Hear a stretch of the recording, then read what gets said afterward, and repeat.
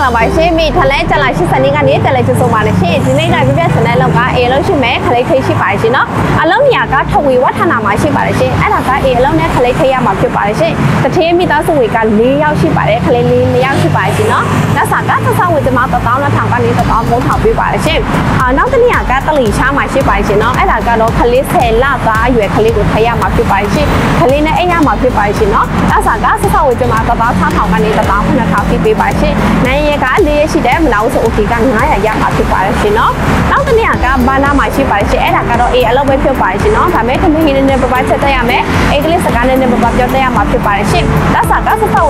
ဆက်ဆောင်ဝင်ကျမ1000ကနေ1000ထောင်ထိပေးပါတယ်ရှင်နိုင်ရက၄ရက်ရှိတယ်နော်မနာဘူးဆို okay က900ရမှာဖြစ်ပါတယ်နော်အာနောက်တစ်နေရာကကျလလခေါ်မှာရှိပါတယ်ရှင်အဲ့ဒါကအေးအလုပ်နဲ့ခလေးထရမှာဖြစ်ပါတယ်ရှင်နော်လက်စာကဆက်ဆောင်ဝင်ကျမ1000နိုင်ရက၄ရက်ရှိတယ်မနာဘူးဆို okay က900ရမှာဖြစ်ပါတယ်ရှင်အာ